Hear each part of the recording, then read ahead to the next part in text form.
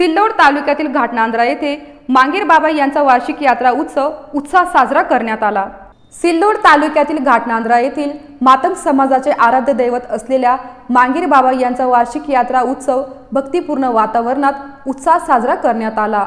यावेळी येथील माजी सरपंच लताताई चंदनशिवे शिवाजी चंदनशिवे प्रभाकर चंदन शिवे कडुबा चंदनशिवे व उपस्थित समाज बांधवांनी मागे बाबा यांच्या मूर्तीची पंचामृताने स्नानविधी करून विधिवत पूजा केली व सर्वांच्या उपस्थितीत मागे बाबा यांची महाआरती करण्यात येऊन गोड पापड्यांचा नैवेद्य दाखवण्यात आला.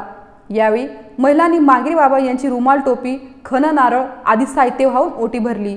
यावेळी मांगे बाबा यांच्या धर्मध्वजाचे हार फुले वाहून पूजन करण्यात आले व संपूर्ण गावामधून या भगव्या ध्वजाची वाजत गाजत भव्य अशी मिरवणूक काढण्यात आली.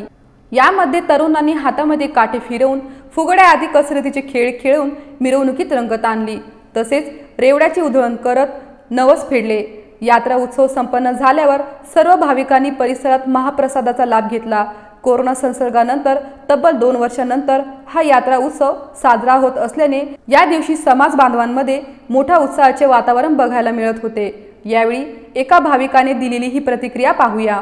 एकवीस तारीख मांगीर बाबा मंगरुळ औरंगाबाद या ठिकाणी दरवर्षीप्रमाणे साजर होणारी जत्रा आणि या मागच्या या दोन तीन वर्षापूर्वी कोरोना काळानिमित्त या बंद असल्यामुळे तर ह्या वर्षी खूप मोठ्या उत्सवाने या ठिकाणी जत्रा साजर करत आहे. तरी सर्वांना जत्रेच्या खूप खूप शुभेच्छा. बोला मांगीर. व्रतदर्शन बातम्यासाठी श्रीराम जोशी घाटनांद्रा.